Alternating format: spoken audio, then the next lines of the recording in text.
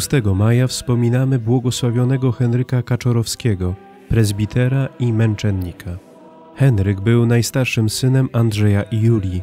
Urodził się 10 lipca 1888 roku w Bierzwiennej Długiej. Miał jeszcze siedmioro rodzeństwa, trzech braci zmarło w dzieciństwie.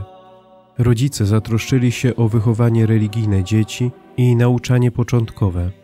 Naukę kontynuował w szkole powszechnej w Kłodawie i w gimnazjum w Kaliszu. Był bardzo zdolnym uczniem. W roku 1908 wstąpił do seminarium duchownego we Włocławku. Nauka nie sprawiała mu trudności. Poświęcał wiele czasu na studia i także na modlitwę. Był klerykiem lubianym przez kolegów.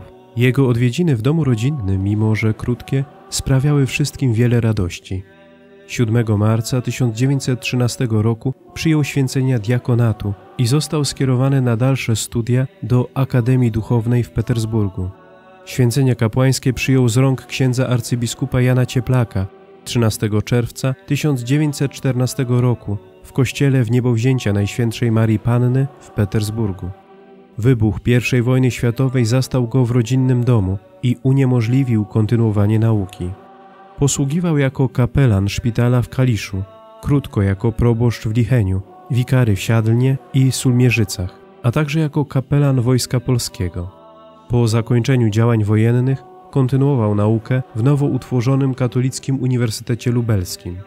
W marcu 1922 roku obronił rozprawę doktorską pod tytułem Rola uczuć w życiu moralnym według nauki świętego Tomasza Zakwinu. Pisał ją pod kierunkiem sługi Bożego ojca Jacka Woronieckiego. Był pierwszym wypromowanym doktorem tej uczelni. Po powrocie do diecezji wykładał teologię moralną w seminarium. Został dyrektorem liceum imienia Piusa X, było to niższe seminarium duchowne, i katechetą we włocławskich szkołach. W latach od 1925 do 1928 roku był redaktorem Ateneum Kapłańskiego. Na łamach tego pisma publikował nie tylko swoje artykuły o tematyce teologiczno-moralnej, ascetycznej, społecznej i recenzje nowych książek, ale także sprawozdania z międzynarodowych zjazdów naukowych, w których uczestniczył. W 1928 roku powierzono mu funkcję rektora seminarium duchownego. Przygotowywał kleryków do dobrej, ofiarnej pracy kapłańskiej. Starał się o ich rozwój intelektualny, duchowy, kulturalny, fizyczny, wszechstronny. Troszczył się o ich potrzeby, pomagał ubogim, a robił to bardzo delikatnie. Zasadę jak najmniej robić kłopotu swoją osobą, być skromnym w zachowaniu i wymaganiach osobistych. Sam realizował i zachęcał do tego kleryków. Sam żył bardzo skromnie, prawie ubogo. Dbał także o swój rozwój duchowy, wiele czasu poświęcał na lekturę i modlitwę. Mawiał, święci w Kościele to prawdziwe, nadprzyrodzone piorunochrony, odwracające sprawiedliwą karę Bożą za występki świata. Jeden z kleryków zaświadczył, ukochał młodzież duchową i jej poświęcił najpiękniejsze lata swojego życia. Naukowcem nie był, był wychowawcą, był ojcem. Chociaż był surowym rektorem, klerycy go bardzo lubili, a to dlatego, iż od siebie nie mniej wymagał niż od innych. Wiele razy prosił o zwolnienie z tej funkcji ze względu na stan zdrowia. Posługę rektora zakończył w czasie wakacji w roku 1939. Po wybuchu wojny 7 listopada 1939 roku wraz z innymi kapłanami został aresztowany i osadzony w więzieniu miejskim. Po miesiącu, ze względu na stan zdrowia, przeniesiono go do szpitala świętego Antoniego we Włocławku. Po kilkumiesięcznym leczeniu przewieziono go do salezjańskiego klasztoru w Lądzie nad Wartą, gdzie przebywali już internowani księża i klerycy z diecezji włocławskiej. Mimo trudnych warunków, tak jak inni profesorowie, prowadził tajne nauczanie kleryków. Po rocznym pobycie 3 kwietnia 1941 roku na dziesięć dni przed Wielkanocą razem z innymi kapłanami wywieziono go do obozu w Dachau. Podróż trwała trzy tygodnie. W obozie koncentracyjnym w Dachau pozbawiono go osobistej bielizny, ubrania, butów i wszystkich innych rzeczy, w tym także krzyżyka i medalika. Natomiast otrzymał drewniaki, pasiak z numerem 24547, został ogolony i pobity, zgodnie z procedurą przyjmowania do obozu. Przydzielone prace przekraczające możliwości fizyczne ciągle głodnego więźnia wykonywał sumiennie wszystkie upokorzenia, nieludzkie warunki z godnością i spokojem. Nigdy nie narzekał, nie skarżył się, nie utyskiwał.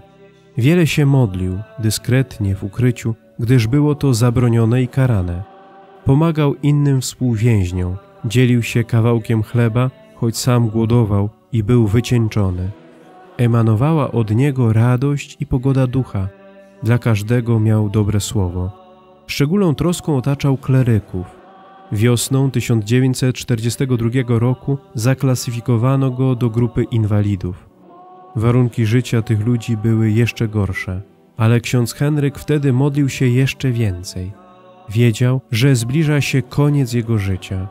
Współwięzień, wówczas kleryk Władysław Sarnik, był bodaj ostatnim, który się z nim żegnał. Był przejęty, wzruszony. Powiedział: Władziu, powiedz wszystkim, aby się nie smucili. My się nie łudzimy, my wiemy, co nas czeka.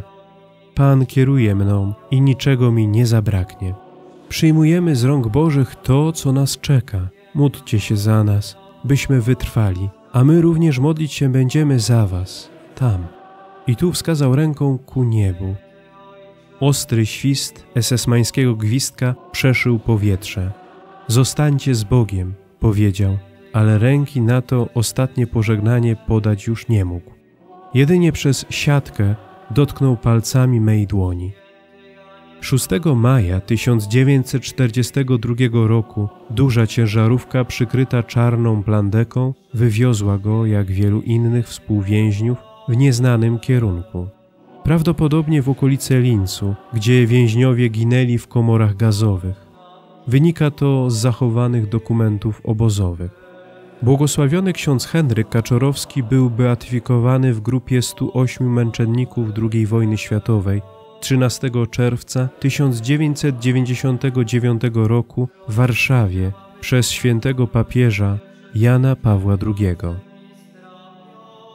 Módlmy się, Wszechmogący Wieczny Boże, Ty dałeś błogosławionym męczennikom, Henrykowi i współtowarzyszom udział w męce Chrystusa Wspomóż swoją łaską naszą słabość, abyśmy naśladując męczenników, którzy nie wahali się umrzeć za Ciebie, odważnie wyznawali Cię naszym życiem.